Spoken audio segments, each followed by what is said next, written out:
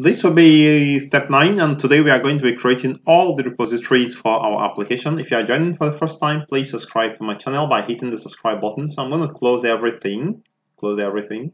So as I mentioned, we have the client. If you type on a browser, HTTP, da, da, da, it goes to the controller. Controller talks to the service. The service talks to the repository. The repository is res responsible for now fetching the data from uh, the data store, makes a connection and uh, fetches the data for you and returns it back exactly through uh, the same channel. So we are going to create the repository in the repositories package. So I'm going to, now I need to mention that a repository this time is an interface, right?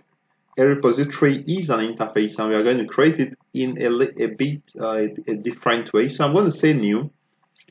I'm going to say new and this time I'm going to say interface and this time we are saying client repository client repository. Now is going to extend is going to extend JPA repository. Is going to extend JPA repository. And I'm going to just say finish. So right so now when you extend JPA repository, you need to specify the name of the table you want to access or the name of the model the entity that this repository belongs. In this case, the client entity is the name of the entity. So I'm going to specify client and you're also going to specify the primary key type. So what are we saying? We are saying that if we go to, what is happening here? So models client, okay, this is fine. Okay, so if I go to the models and I open up the clients, you can see that the primary key, this primary key, the ID column, is of integer type. So that is what we are going to specify in case of the repository, as you can see right here. So that makes it a bit difficult for us to copy and paste, but uh, we are going to still do it. So I'm going to kind of, let me just shift this a bit so that we see everything but I'm going to still do it. Uh, let me see. So I'm going to just copy client repository, copy and paste. Let's see. So I'm going to call it um, contacts contacts repo z3. Okay. So at this point, contact repository is created, and you're also going to change the type here to contacts so this is what we are going to do for everything. So so um, let me also continue pasting. So the next one is going to be yeah save. The next one is going to be country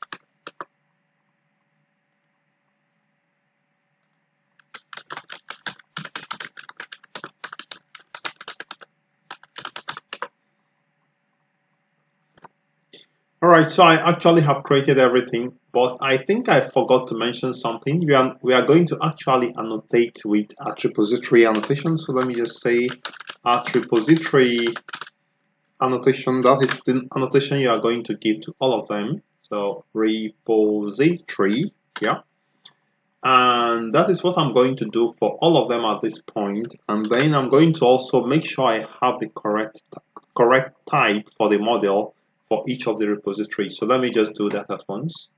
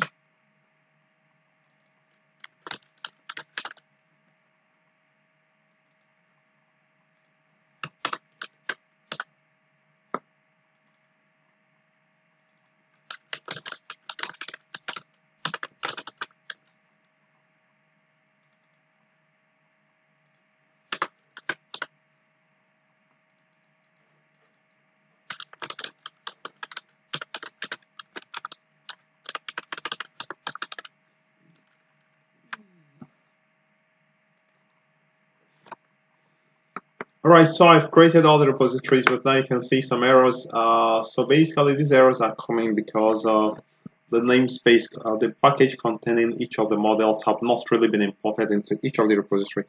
So I'm going to press Control Shift O on my keyboard. Control Shift O will solve the problem. So if I save everything, you can see the errors are going away one after another.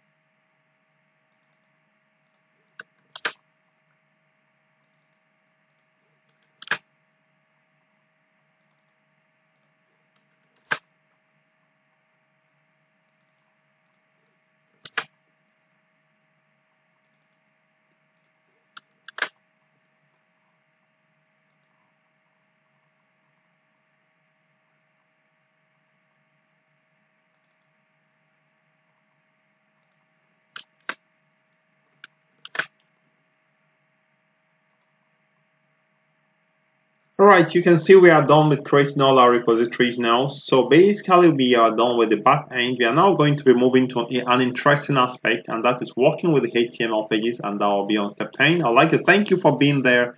I'd like to remind you to subscribe to my channel, like and share this video if it has been informative for you.